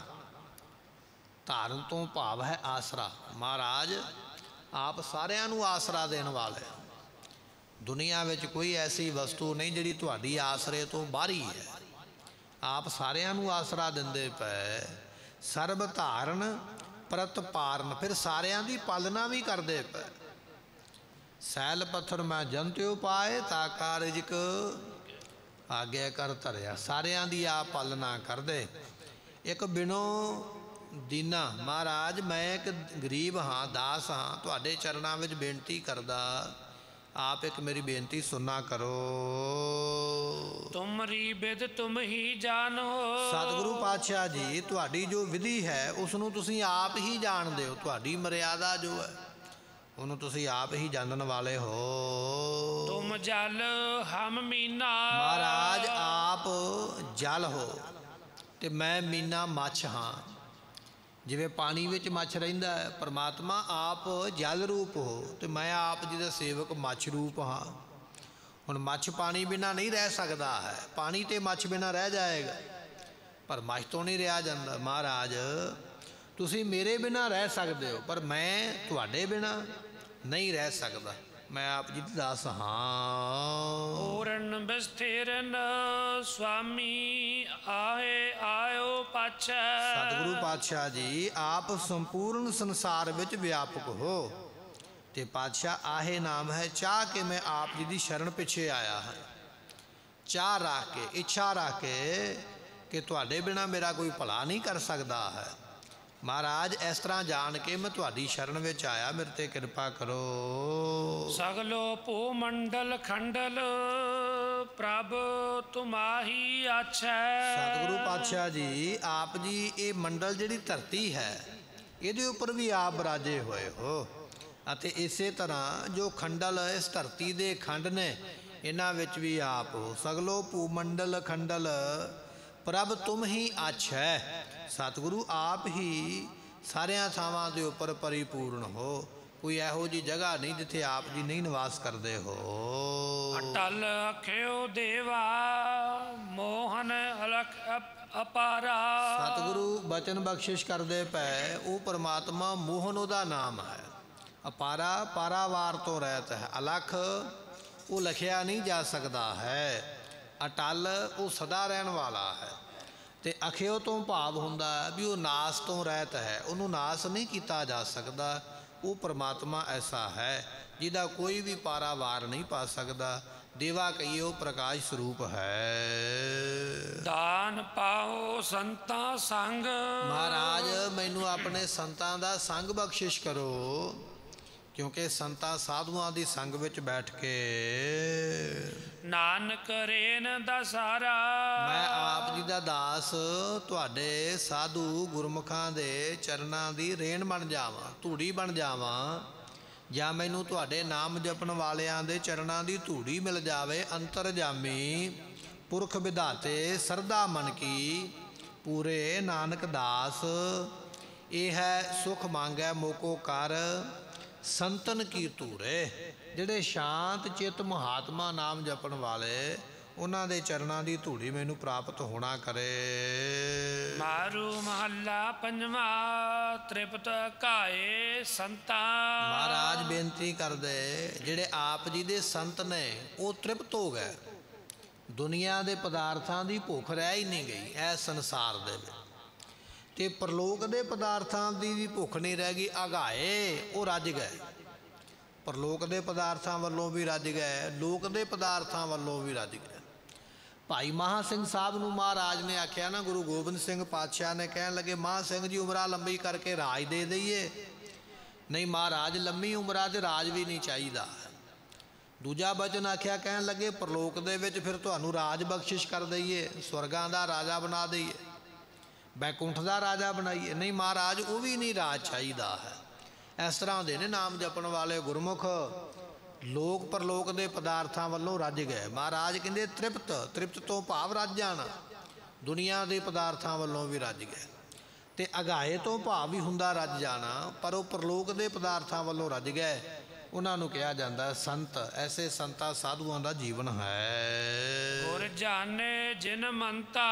ਜਿਨ੍ਹਾਂ ਨੇ ਗੁਰਾਂ ਦੇ ਮੰਤਾ ਕੀ ਉਪਦੇਸ਼ ਜਾਣਿਆ ਹੈ ਇਹ ਅਵਸਥਾ ਉਹਨਾਂ ਦੀ ਬਣੀ ਹੈ। ਗੁਰੂ ਦੇ ਉਪਦੇਸ਼ ਤੋਂ ਬਿਨਾ ਕਮਾਈ ਤੋਂ ਬਿਨਾ ਇਹ ਅਵਸਥਾ ਪ੍ਰਾਪਤ ਨਹੀਂ ਹੁੰਦੀ ਹੈ। ਜਾ ਕੋ ਨਾਮ ਵਡਾਈ ਪਾਤਸ਼ਾਹ ਕਹਿਣ ਲੱਗੇ ਤਾਂ ਕਿ ਕਿਛ ਕਹਿਣ ਨਾ ਜਾਏ। ਐਸੇ ਜਿਹੜੇ ਸਾਧੂ ਨੇ ਉਹਨਾਂ ਦੀ ਜਿਹੜੀ ਹੈ ਉਹ ਵਡਿਆਈ ਕੁਝ ਕਹੀ ਨਹੀਂ ਜਾ ਸਕਦੀ ਹੈ। ਕਿਉਂਕਿ ਉਪਮਾ ਤੋਂ ਗੁਰਮੁਖ ਰਹਿਤ ਹਨ ਜਾ ਕੋ ਨਾਮ ਵਡਾਈ। ਤਾਂ ਕਿ ਕਿਛ ਕਹਿਣ ਨਾ ਜਾਈ ਜਾ ਕੋ ਨਾਮ ਵਡਾਈ। ਜਿਨ੍ਹਾਂ ਨੂੰ ਆਪ ਜੀ ਨਾਮ ਦੀ ਵਡਿਆਈ ਬਖਸ਼ਿਸ਼ ਕਰਦੇ ਹੋ ਉਹਨਾਂ ਦੀ ਉਪਮਾ ਕੋਈ ਕਹਿ ਨਹੀਂ ਸਕਦਾ। ਪਰਮਾਤਮਾ ਦੀ ਉਪਮਾ ਕਰਨੀ ਚੰਗੀ ਗੱਲ ਹੈ ਪਰ ਅੰਤ ਨਹੀਂ। ਪਰਮਾਤਮਾ ਦਾ ਅੰਤ ਕਿੰਨੇ ਪਾ ਲੈਣਾ ਹੈ? ਜਿਹੜੇ ਪਰਮਾਤਮਾ ਦਾ ਨਾਮ ਜਪਣ ਵਾਲੇ ਨੇ ਉਹਨਾਂ ਦੀ ਮਹਿਮਾ ਦਾ ਅੰਤ ਵੀ ਨਹੀਂ ਪਾਇਆ ਜਾ ਸਕਦਾ ਹੈ। ਐਸੀ ਮਹਿਮਾ ਦੇ ਗੁਰਮੁਖ ਮਾਲਕ ਹੋਇਆ ਕਰਦੇ ਹਨ। ਲਾਲ ਅਮੋਲਾ ਲਾਲੋ। ਉਹ ਜੋ ਪਰਮਾਤਮਾ ਹੈ ਲਾਲ ਕੀਏ ਪਿਆਰਾ ਹੈ। ਉਹ ਪਰਮਾਤਮਾ ਬੜਾ ਹੀ ਭਾਈ ਪਿਆਰਾ ਹੈ। ਤੇ ਅਮੋਲਾ ਅਮੋਲਕ ਹੈ। ਉਹਦਾ ਮੁੱਲ ਕੋਈ ਨਹੀਂ ਦੁਨੀਆ ਤੇ ਪਾ ਸਕਿਆ। ਦੁਨੀਆ ਦੇ ਵਿੱਚ ਬੜੇ ਬੜੇ ਧਨਾੜ ਲੋਕ ਹੋਏ ਮਾਇਆਪਤੀ ਹੋਏ। ਪਰ ਪਰਮਾਤਮਾ ਇਹੋ ਜਿਹਾ ਹੈ, ਉਹਦੇ ਕਿਸੇ ਨੇ ਮੁੱਲ ਨਹੀਂ ਪਾਇਆ। ਹਰ ਆਪ ਅਮੁੱਲਕ ਹੈ, ਮੁੱਲ ਨਾ ਪਾਇਆ ਜਾਏ। ਉਹ ਪਰਮਾਤਮਾ ਦਾ ਕੋਈ ਦੁਨੀਆ ਤੇ ਮੁੱਲ ਨਹੀਂ ਪਾਉਂਦਾ, ਐਸਾ ਅਮੋਲਕ ਹੈ। ਲਾਲੋ, ਕਹਿ ਲਈਏ ਲਾਲ ਵਾਂਗੂ ਕੀਮਤੀ ਹੈ। ਜੇ ਉਹਦਾ ਕੋਈ ਮੁੱਲ ਨਹੀਂ ਪਾ ਸਕਦਾ, ਇਹਦਾ ਮਤਲਬ ਇਹ ਨਹੀਂ ਹੈ ਵੀ ਉਹ ਐਵੇਂ ਹੀ ਹੈ। ਹੈ ਕੀਮਤੀ ਹੈ, ਪਰ ਉਸ ਦੀ ਕੀਮਤ ਕੋਈ ਪਾ ਨਹੀਂ ਸਕਦਾ। ਐਸਾ ਪਰਮਾਤਮਾ ਸਮਰੱਥ ਹੈ। ਅਗ ਅਤੁਲਾ ਨਾਮੋ। ਉਸ ਪਰਮਾਤਮਾ ਦਾ ਜਿਹੜਾ ਨਾਮ ਹੈ ਅਤੁਲ ਹੈ ਤੇ ਉਹ ਪਰਮਾਤਮਾ ਅਗਾਧ ਹੈ ਜਿਹਦਾ ਆਪਾਂ ਕਹਿ ਦਿੰਦੇ ਅਗਾਧ ਬੋਧ। ਉਹ ਪਰਮਾਤਮਾ ਅਗਾਧ ਹੈ ਮਾਪਣ ਵਾਲਿਆਂ ਨੇ ਸਮੁੰਦਰਾਂ ਦਾ ਪਾਣੀ ਤੱਕ ਮਾਪ ਲਿਆ ਹੈ। ਡੁੰਗਿਆਈ ਚੁੜਾਈ ਸਭ ਕੁਝ ਮਾਪਣ ਵਾਲੇ ਬੈਠੇ। ਪਰਮਾਤਮਾ ਕਿਸੇ ਮਾਪ ਦੇ ਵਿੱਚ ਨਹੀਂ ਆਉਂਦਾ ਹੈ ਕਿਸੇ ਮਿੰਤੀ ਵਿੱਚ ਨਹੀਂ ਆਉਂਦਾ ਉਹ ਅਗਾਧ ਹੈ। ਪਾਤਸ਼ਾਹ ਉਸ ਦਾ ਐਸਾ ਨਾਮ ਹੈ। ਰਹਾਉ ਅਵਗਤ ਸਿਓ ਮਾਨਿਆ ਮਾਨੋ। ਅਵਗਤ ਜੋ ਪਰਮੇਸ਼ਰ ਹੈ ਉਸ ਵਿੱਚ ਮੇਰਾ ਮਨ ਮੰਨ ਗਿਆ। ਗੁਰਮੁਖੋ ਇਹ ਮਨ ਪਰਮਾਤਮਾ ਵਿੱਚ ਮੰਨ ਜਾਵੇ ਉਹਦੇ ਵਾਸਤੇ ਕਮਾਈ ਕਰਦੇ ਗੁਰਮੁਖ ਨਾਮ ਜਪਦੇ। ਜਿਨ੍ਹਾਂ ਨੇ ਨਾਮ ਜਪਿਆ ਉਹ ਫਿਰ ਕਹਿੰਦੇ ਪਰਮਾਤਮਾ ਤੇਰੇ ਵਿੱਚ ਮੇਰਾ ਮਨ ਮੰਨ ਗਿਆ ਹੈ। ਗੁਰਮੁਖ ਤਤ ਗਿਆਨੋ। ਕਿਉਂਕਿ ਉਹਨਾਂ ਗੁਰਮੁਖਾਂ ਨੇ ਤਤ ਗਿਆਨ ਜਿਹੜਾ ਹੈ ਯਥਾਰਥ ਗਿਆਨ ਜਿਹੜਾ ਹੈ ਬ੍ਰਹਮ ਗਿਆਨ ਜਿਹੜਾ ਹੈ ਉਹਨਾਂ ਗੁਰਮੁਖਾਂ ਨੇ ਪ੍ਰਾਪਤ ਕਰ ਲਿਆ ਹੈ। ਵੇਖਤ ਸਗਲ ਧਿਆਨੋ। ਹੁਣ ਸਾਰਿਆਂ ਦੇ ਵਿੱਚ ਬੜੇ ਧਿਆਨ ਦੇ ਨਾਲ ਉਸ ਪਰਮਾਤਮਾ ਨੂੰ ਹੀ ਵੇਖਦੇ। ਉਹਨਾਂ ਦੇ ਕੋਲ ਜੋ ਵੀ ਆ ਜਾਵੇ ਜਿਵੇਂ ਨਾਮਦੇਵ ਜੀ ਦੇ ਪ੍ਰਸ਼ਾਦੇ ਕੁੱਤਾ ਲੈ ਗਿਆ। ਉਹ ਮਗਰ ਮੱਖਣ ਚੋ ਕੇ ਦੌੜੇ ਜਾਂਦੇ ਵੀ ਭੁੱਖ- ਪ੍ਰਸ਼ਾਦਾ ਚੋਪੜ ਕੇ ਛਕ ਲਵੋ। ਇਸ ਤਰ੍ਹਾਂ ਉਹਨਾਂ ਗੁਰਮੁਖਾਂ ਦੀ ਅਵਸਥਾ ਬਣ ਜਾਂਦੀ ਹੈ। ਸਾਰਿਆਂ ਦੇ ਵਿੱਚ ਪ੍ਰਮਾਤਮਾ ਨੂੰ ਹੀ ਵੇਖਦੇ ਐਸਾ ਧਿਆਨ ਜੁੜਿਆ ਰਹਿੰਦਾ ਹੈ। ਤਜਿਓ ਮਨ ਤੇ ਅਭਿਮਾਨੋ ਕਿਉਂਕਿ ਉਹਨਾਂ ਨੇ ਆਪਣੇ ਮਨ ਤੋਂ ਹੰਕਾਰ ਛੱਡ ਦਿੱਤਾ। ਹੰਕਾਰ ਨਹੀਂ ਕਦੇ ਕਰਦੇ ਹਨ। ਸਾਨੂੰ ਤੇ ਨਿੱਕੀ ਜੀ ਗੱਲ ਦਾ ਹੰਕਾਰ ਆ ਜਾਂਦਾ। ਮੇਰੇ ਕੱਪੜੇ ਨਹੀਂ ਮੇਰੇ ਕੱਪੜਿਆਂ ਵਰਗੇ ਕਿਸੇ ਦੇ ਕੱਪੜੇ ਨਹੀਂ ਮੇਰੇ ਘਰ ਵਰਗਾ ਕਿਸੇ ਕੋਲ ਘਰ ਨਹੀਂ ਮੇਰੇ ਵਰਗਾ ਕਿਸੇ ਕੋਲ ਗਿਆਨ ਨਹੀਂ। ਨਿੱਕੀ ਮੋਟੀ ਗੱਲ ਦਾ ਹੰਕਾਰ ਹੈ। ਪਰ ਕਹਿਣ ਲੱਗੇ ਗੁਰਮੁਖਾਂ ਨੇ ਨਾਮ ਜਪਿਆ। ਉਹਨਾਂ ਨੇ ਮਨ ਤੋਂ ਹੀ ਹੰਕਾਰ ਛੱਡ ਦਿੱਤਾ ਹੈ। ਕਬੀਰ ਸਭ ਤੇ ਹਮ ਬੁਰੇ। ਐਸੀ ਨਿਮਰਤਾ ਆ ਗਈ ਹੈ। ਉਹਨਾਂ ਨੇ ਹੰਕਾਰ ਨੂੰ ਦੂਰੋਂ ਲਾ ਕੇ ਪਰੇ ਕਰ ਦਿੱਤਾ ਹੈ। ਨਹਿ ਚਲ ਤਿਨ ਕਾ ਠਾਣਾ। ਉਹਨਾਂ ਗੁਰਮੁਖਾਂ ਦਾ ਠਾਣਾ ਕਹੀਏ ਟਿਕਾਣਾ। ਉਹਨਾਂ ਦਾ ਟਿਕਾਣਾ ਫਿਰ ਸਦਾ ਹੀ ਹੈ। ਥਿਰ ਪਾਰ ਬ੍ਰਹਮ ਪਰਮੇਸ਼ਰੋ ਸੇਵਕ ਥਿਰ ਹੋਸੀ। ਨਾਮ ਰਹਿਓ, ਸਾਧੂ ਰਹਿਓ ਰਹਿਓ। ਗੁਰ ਗੋਬਿੰਦ, ਕਹੋ ਨਾਨਕ, ਇਹ ਜਗਤ ਮੈਂ ਕਿਨ ਜਪਿਓ? ਗੁਰਮੰਤ, ਜਿਨ੍ਹਾਂ ਨੇ ਗੁਰੂ ਦੇ ਮੰਤਰ ਨੂੰ ਜਪਿਆ ਹੈ, ਐਸੇ ਜਿਹੜੇ ਗੁਰਮੁਖ ਨੇ ਨਿਹਚਲ ਤਿਨਕਾ ਠਾਣਾ ਠਾਣਾ ਕਹੀਏ, ਟਿਕਾਣਾ। ਉਹਨਾਂ ਦਾ ਟਿਕਾਣਾ ਸਦਾ ਵਾਸਤੇ ਸਥਿਤ ਹੋ ਜਾਂਦਾ ਹੈ। ਗੁਰ ਤੇ ਮਹਿਲ ਪਛਾਣਾ। ਜਾਂ ਆਪਾਂ ਇਸ ਤਰ੍ਹਾਂ ਕਹਿ ਲਈਏ ਸਦਾ ਨਿਹਚਲ ਰਹਿਣ ਵਾਲਾ ਹੈ ਪਰਮਾਤਮਾ। ਪਰਮਾਤਮਾ ਦੇ ਵਿੱਚ ਉਹਨਾਂ ਗੁਰਮੁਖਾਂ ਦਾ ਟਿਕਾਣਾ ਹੋ ਜਾਂਦਾ ਪਰਮਾਤਮਾ ਦੇ ਵਿੱਚ ਹੀ ਮਿਲ ਜਾਂਦੇ। ਨਿਹਚਲ ਤਿਸਕਾ ਠਾਣਾ ਉਹਨਾਂ ਗੁਰਮੁਖਾਂ ਦਾ ਜੋ ਅਚਲ ਸਰੂਪ ਪਰਮਾਤਮਾ ਹੈ ਉਹਦੇ ਵਿੱਚ ਟਿਕਾਣਾ ਹੋ ਜਾਂਦਾ ਹੈ। ਅਨ ਦਿਨ ਗੁਰ ਮਿਲ ਜਾਗੇ। ਗੁਰ ਤੇ ਮਹਿਲ ਪਛਾਣਾ ਉਹਨਾਂ ਨੇ ਫਿਰ ਗੁਰੂ ਕੋਲੋਂ ਬਖਸ਼ਿਸ਼ ਪ੍ਰਾਪਤ ਕਰਕੇ ਤੇ ਨਾਮ ਜਪਿਆ ਹੈ। ਤੇ ਮਹਿਲ ਨਾਮ ਹੈ ਸਰੂਪ ਦਾ ਉਹ ਫਿਰ ਪਰਮਾਤਮਾ ਦੇ ਸਰੂਪ ਨੂੰ ਜਾਣ ਲੈਂਦੇ ਹਨ। ਹਰ ਕੀ ਸੇਵਾ ਲਾਗੇ। ਅਣ ਦਿਨ ਮਹਾਰਾਜ ਕਹਿੰਦੇ ਗੁਰਮਿਲ ਜਾਗੇ ਅਣ ਦਿਨ ਗੁਰਮਿਲ ਜਾਗੇ। ਉਹ ਜਿਹੜੇ ਗੁਰਮੁਖ ਨੇ ਦਿਨੇ ਰਾਤ ਗੁਰੂ ਦੇ ਨਾਲ ਮਿਲ ਕੇ ਨਾਮ ਸਿਮਰਨ ਦੀ ਕਮਾਈ ਵਿੱਚ ਜਾਗਦੇ ਰਹਿੰਦੇ। ਦਿਨ ਰਾਤੀ ਅਰਧ ਹੋ ਪਿਆਰੋ ਨਿਮਖ ਨਾ ਕੀਜੈ। ਢੀਲਾ ਉਹ ਗੁਰਮੁਖ ਦਿਨੇ ਵੀ ਫਿਰ ਉਹਦੇ ਨਾਮ ਨੂੰ ਜਪਦੇ। ਰਾਤ ਵੀ ਉਹਦੇ ਨਾਮ ਨੂੰ ਜਪਦੇ। ਦਿਨੇ ਰਾਤ ਉਹਦੇ ਨਾਮ ਦੀ ਕਮਾਈ ਕਰਦੇ ਹਨ। ਹਰ ਕੀ ਸੇਵਾ ਲਾਗੇ। ਇਸ ਤਰੀਕੇ ਦੇ ਨਾਲ ਨਾਮ ਜਪਣਾ ਹੀ ਪ੍ਰਮਾਤਮਾ ਦੀ ਸੇਵਾ ਹੈ। ਪੂਜਾ ਕੀਚੈ ਨਾਮ ਧਿਆਈਐ ਬਿਨ ਨਾਵੈ ਪੂਜ ਨਾ ਹੋਏ ਗੁਰਮੁਖੋ, ਜੇ ਸਰੀਰ ਕਰਕੇ ਸੇਵਾ ਹੋਵੇ, ਬੜੀ ਚੰਗੀ ਗੱਲ ਹੈ, ਸੇਵਾ ਕਰਨੀ ਚਾਹੀਦੀ ਹੈ। ਜਿਵੇਂ ਕਿ ਝਾੜੂ ਲਾਉਣਾ ਹੈ, ਪੋਚਾ ਲਾਉਣਾ ਹੈ, ਬਰਤਨ ਸਾਫ਼ ਕਰਨਾ ਹੈ। ਔਰ ਸਭ ਤੋਂ ਵੱਡੀ ਸੇਵਾ ਮਹਾਰਾਜ ਸਾਹਿਬ ਜੀਆਂ ਦੇ ਉੱਪਰ ਚੌਰ ਸਾਹਿਬ ਕਰਨ ਦੀ ਸੇਵਾ ਹੈ। ਇਹ ਸੇਵਾ ਕਰਨੀ ਚਾਹੀਦੀ ਹੈ, ਜਿੰਨਾ ਚਿਰ ਸਾਡਾ ਸਰੀਰ ਕੰਮ ਕਰਦਾ ਹੈ। ਪਰ ਜਦੋਂ ਸਰੀਰ ਬਹੁਤਾ ਕਮਜ਼ੋਰ ਹੋ ਜਾਵੇ, ਨਹੀਂ ਕੰਮ ਕਰਨ ਨੂੰ ਅਸਮਰੱਥ ਹੋ ਗਿਆ ਹੈ, ਫਿਰ ਜਿਹੜਾ ਨਾਮ ਜਪਣਾ ਹੈ, ਇਹ ਨਾਮ ਜਪਣਾ ਵੀ ਸੇਵਾ ਹੀ ਹੈ। ਨਾਮ ਵੀ ਜਪਿਆ ਗਿਆ ਸੇਵਾ ਵੀ ਹੋ ਗਈ ਹੈ। ਪਾਤਸ਼ਾਹ ਕਹਿਣ ਲੱਗੇ ਹਰ ਕੀ ਸੇਵਾ ਲਾਗੇ। ਉਹ ਗੁਰਮੁਖ ਨਾਮ ਜਪਦੇ ਉਹੀ ਪ੍ਰਮਾਤਮਾ ਦੀ ਸੇਵਾ ਵਿੱਚ ਲੱਗੇ ਹਨ। ਪੂਰਨ ਤ੍ਰਿਪਤ ਅਕਾਏ। ਉਹ ਗੁਰਮੁਖ ਫਿਰ ਪੂਰਨ ਤ੍ਰਿਪਤੀ ਪਾ ਕੇ ਰੱਜ ਗਏ। ਕਦੇ ਵਾਸਤੇ ਭੁੱਖ ਲੱਗਦੀ ਨਹੀਂ ਸਾਰੀਆਂ ਭੁੱਖਾਂ ਉਹਨਾਂ ਦੀਆਂ ਦੂਰ ਹੋ ਜਾਂਦੀਆਂ ਹਨ। ਸਹਿਜ ਸਮਾਦ ਸੁਭਾਏ। ਉਹਨਾਂ ਦੀ ਫਿਰ ਸੁਭਾਵਕ ਹੀ ਨਿਰਕਲਪ ਸਮਾਧੀ ਲੱਗ ਜਾਂਦੀ। ਨਿਰਕਲਪ ਸਮਾਧੀ ਕੀ ਹੈ? ਅੱਖਾਂ ਬੰਦ ਕਰਕੇ ਤੇ ਬੈਠਾ ਹੈ।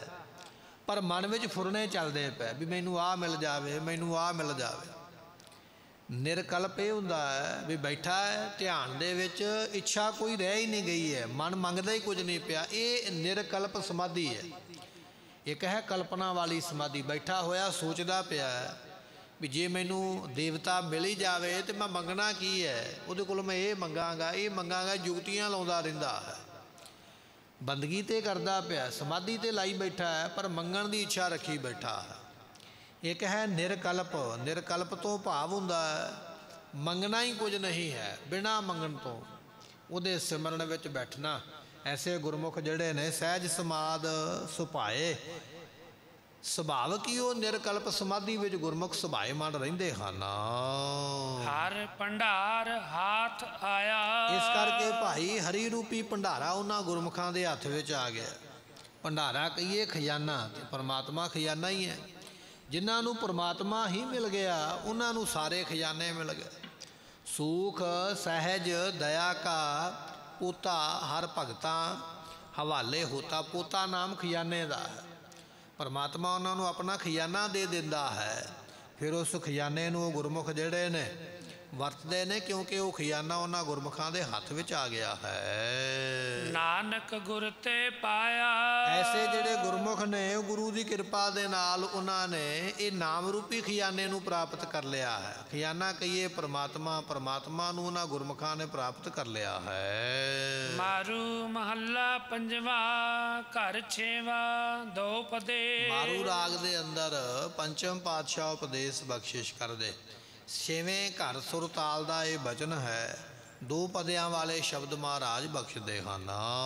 ਇੱਕ ਓੰਕਾਰ ਸਤਿਗੁਰ ਪ੍ਰਸਾਦ। ਪਰਮਾਤਮਾ ਇੱਕ ਹੈ ਗੁਰੂ ਕਿਰਪਾ ਨਾਲ ਉਸ ਪਰਮਾਤਮਾ ਦੀ ਪ੍ਰਾਪਤੀ ਹੁੰਦੀ ਹੈ। ਛੋੜ ਸਗਲ ਸਿਆਣਪਾ ਮਿਲ ਸਾਧ ਤਿਆਗ ਗੁਮਾਨ। ਸਤਿਗੁਰੂ ਪਾਤਸ਼ਾਹ ਕਹਿਣ ਲੱਗੇ ਉਹ ਬੰਦਿਆ ਦੁਨੀਆ ਦੀਆਂ ਸਿਆਰੀਆਂ ਸਿਆਣਪਾਂ ਛੱਡ ਦੇ। ਇਹ ਦੁਨੀਆ ਦੀ ਸਿਆਣਪ ਕਿਤੇ ਕੰਮ ਨਹੀਂ ਆਉਣੀ ਅਵਰ ਕਾਜ ਤੇਰਾ ਕਿਤੇ ਨਕਾਮ। ਜਿੱਥੇ ਦੁਨੀਆ ਦੇ ਕੰਮ ਤੇਰੇ ਕੰਮ ਨਹੀਂ ਆਉਣੇ ਉਥੇ ਦੁਨੀਆ ਦੀਆਂ ਸਿਆਣਪਾਂ ਵੀ ਤੇਰੇ ਕੰਮ ਨਹੀਂ ਆਉਂਦੀਆਂ। ਪਾਤਸ਼ਾਹ ਕਹਿੰਦੇ ਛੋੜ ਸਗਲ ਸਿਆਣਪਾਂ। ਸਾਰੀਆਂ ਸਿਆਣਪਾਂ ਚਤੁਰਾਈਆਂ ਦਲੀਲਾਂ ਪੀਲਾਂ ਛੱਡ ਕੇ ਮਿਲ ਸਾਧ ਤਿਆਗ ਗੁਮਾਨ। ਸਾਧੂਆਂ ਦੀ ਸੰਗਤ ਵਿੱਚ ਮਿਲ ਜਾ ਗੁਰੂ ਦੀ ਸੰਗਤ ਵਿੱਚ ਮਿਲ ਜਾ।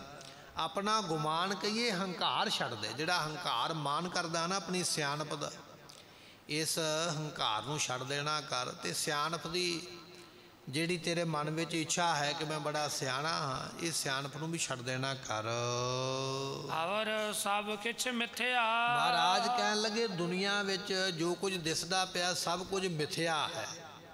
ਮਿਥਿਆ ਕਹੀਏ ਨਾਸਵੰਤ ਜੋ ਤੇਰੀਆਂ ਅੱਖਾਂ ਨਾਲ ਦਿਸਦਾ ਪਿਆ ਹੈ। ਅੱਖਾਂ ਨਾਲ ਕੀ ਦਿਸਦਾ ਹੈ? ਸਾਨੂੰ ਪੁੱਤਰ ਧੀਆਂ ਪਰਿਵਾਰ ਦਿਸਦਾ ਹੈ। ਅੱਖਾਂ ਨਾਲ ਸਾਨੂੰ ਘਰ ਦਿਸਦਾ ਹੈ।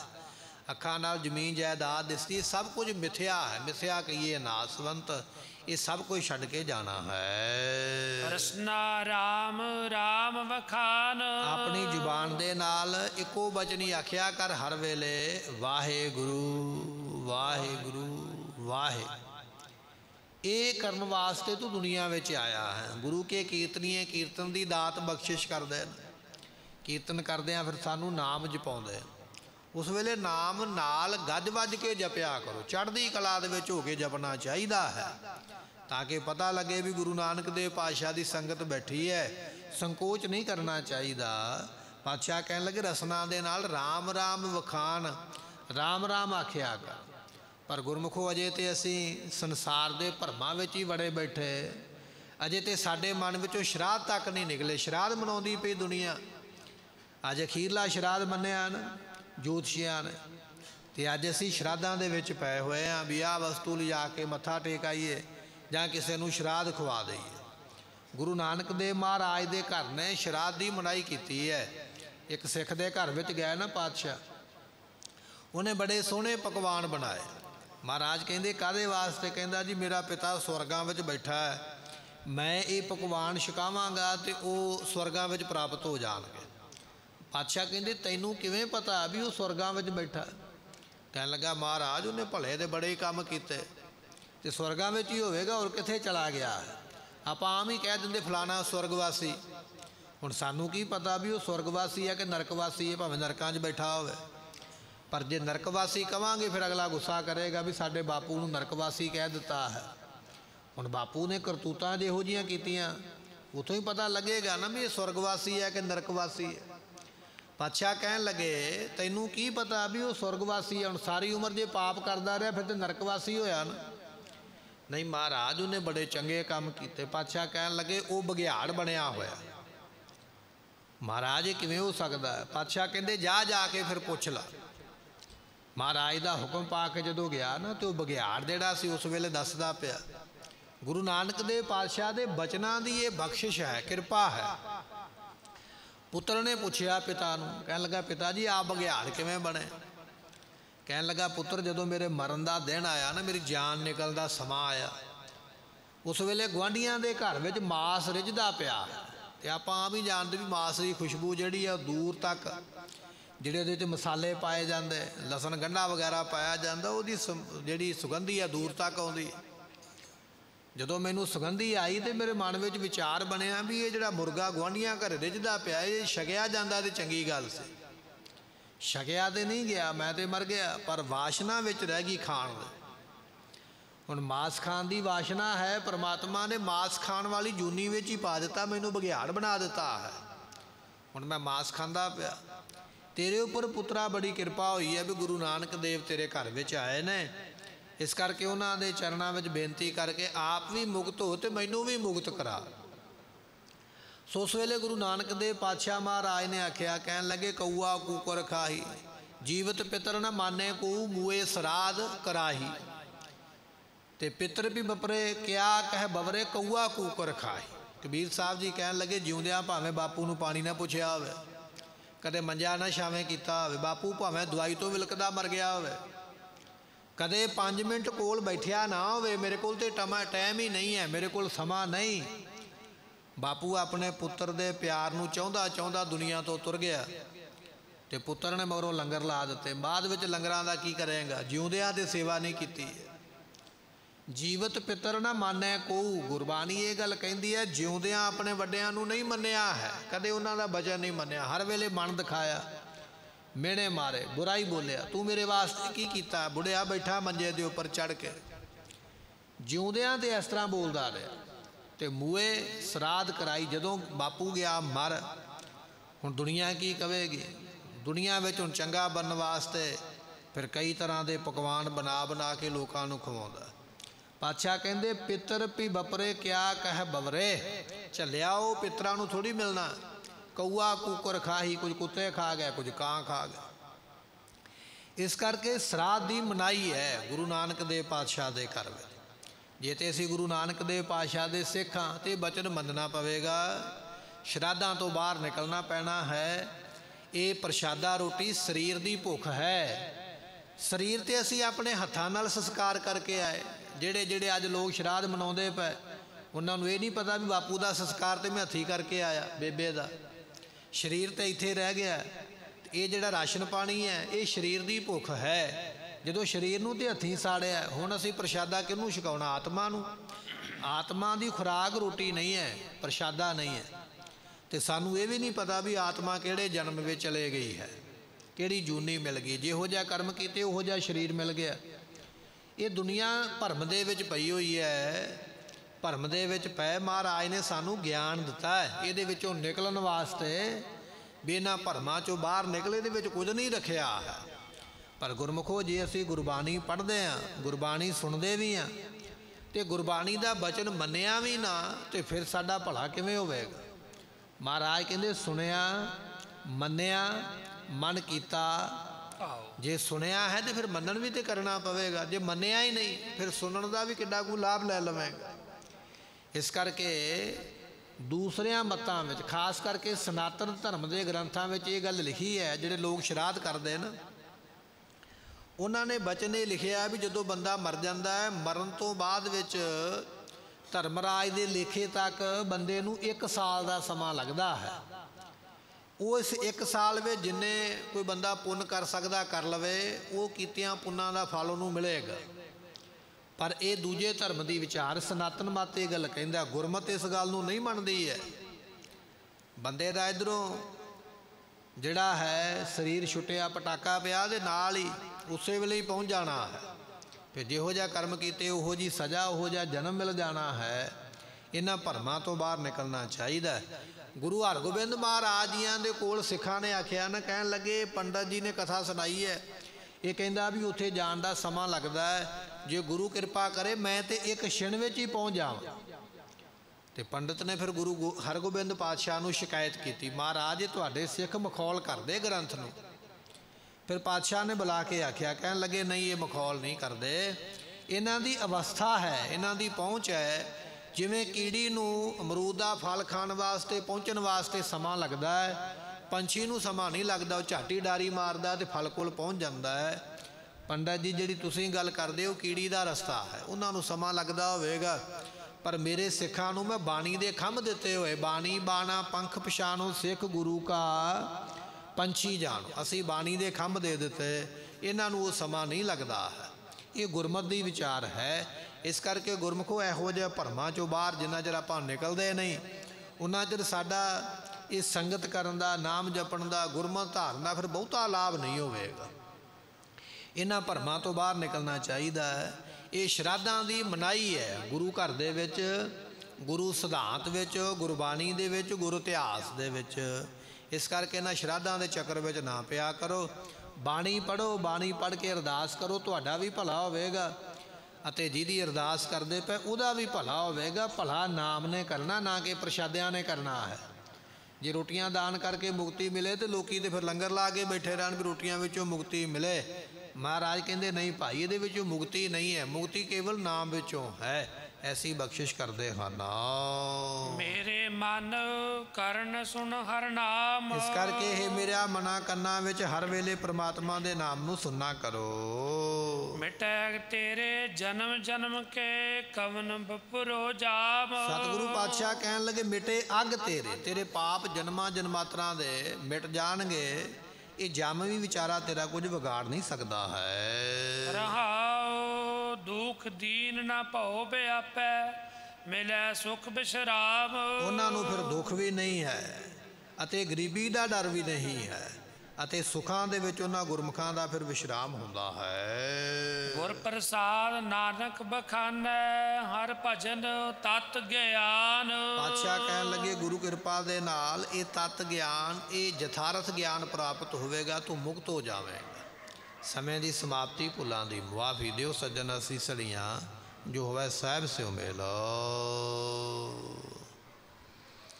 ਦੁਖ ਦਰਦ ਨਾ ਭਉ ਬਿਆਪੈ ਮਿਲੈ ਸੁਖ ਬਿਸਰਾਮ। ਗੁਰ ਪ੍ਰਸਾਦ ਨਾਨਕ ਬਖਾਨੈ ਹਰ ਭਜਨ ਤਤ ਗਿਆਨ। ਵਾਹਿਗੁਰੂ ਜੀ ਕਾ ਖਾਲਸਾ ਵਾਹਿਗੁਰੂ ਜੀ ਕੀ ਫਤਿਹ।